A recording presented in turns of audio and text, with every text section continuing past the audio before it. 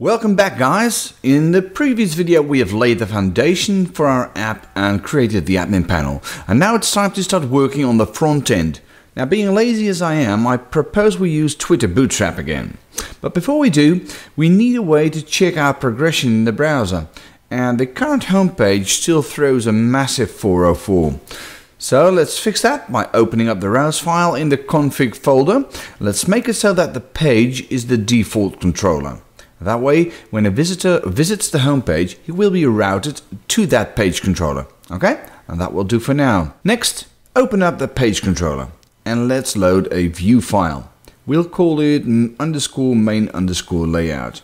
Of course, we'll need to create that file. It will live in the views folder and this is where we'll set up our styling. Now as we go along, I'll be bringing in stuff from admin views if we can reuse them. But let's just start by creating a basic HTML5 page and see if we can actually view this in the browser.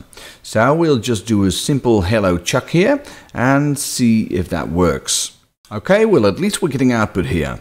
Now let's go back and set up our layout much like we did in the admin section. So we'll create a components folder and inside of that folder we'll create a page head view and a page tail view.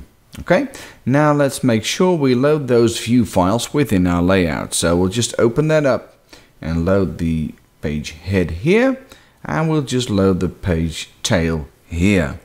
Time to open up the admin page head. Let's just copy what's inside and paste it into the sites page head. Now we will have to do some cleaning up. We will have to set the meta title later on, so let's not forget. Now let's replace admin.css with styles.css and let's just create that file as well. It will live in the public HTML CSS folder. Okay, time to move on. Now, we won't be needing date picker files, so let's just delete those references. And the same goes for our sortable plugin. Also, we can remove the entire TinyMCE section here. Now, I think we set a site name in our CMS config file, so let's just use that instead of meta title. Well, that already looks much better. Now let's do a little check in the browser. Looks like CodeIgniter can't locate our view. Let's check. Oh yes, I should have passed the components folder here. And the same goes for the footer. Also, let's just remove these HTML tags here, or we'll have them double. And check one more time. Good. Now we'll just move the closing tag to its view component, and we're ready to move on. Now create a section to hold our site name. We'll wrap it in h1 tags, and it will just be the site name we got from config again. Let's just have a look. And yeah, that looks good. Now let's create a navbar, Twitter Bootstrap style. We'll create a div with a class of navbar and one with the class of navbar inner, and one with the class bar of container. Inside of the container, we'll create a UL with a class of nav and a list item with a link inside. Now let's add some bogus text and duplicate the list item just a couple of times. Okay, check in the browser.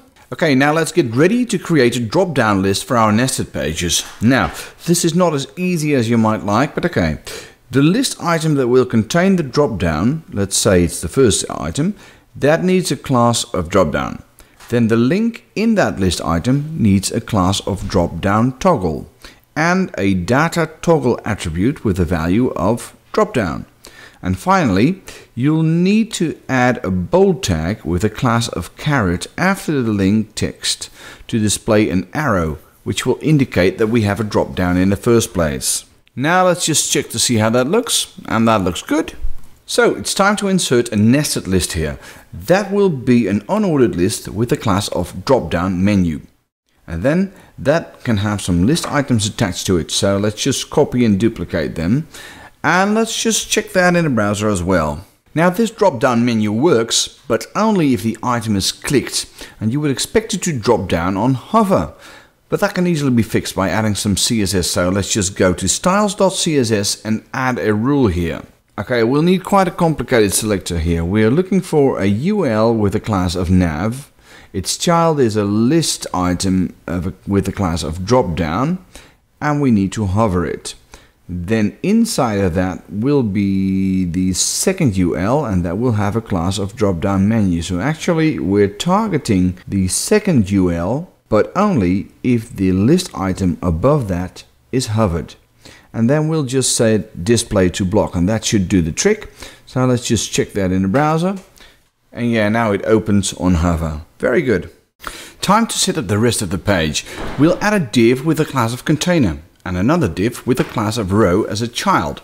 And inside of that row, we'll add two divs, one with a class of span9, which will contain our main content, and one with a class of span3, which will contain our sidebar. Now let's just add some comments so we won't forget. Main column and sidebar. Now let's add some placeholder content for the main content area. Uh, just a title will do here and in the sidebar we'll be adding recent news item in just a bit. Just a final check in the browser. And that could do with just a little more tweaking. Let's just wrap the site name and navbar in a container so they will be fixed within the page. Let's just check that in the browser. And yeah, that looks good enough to me. So we've set up basic styling for our front end. In the next video, we'll fetch the navigation from the database and bring it into the layout.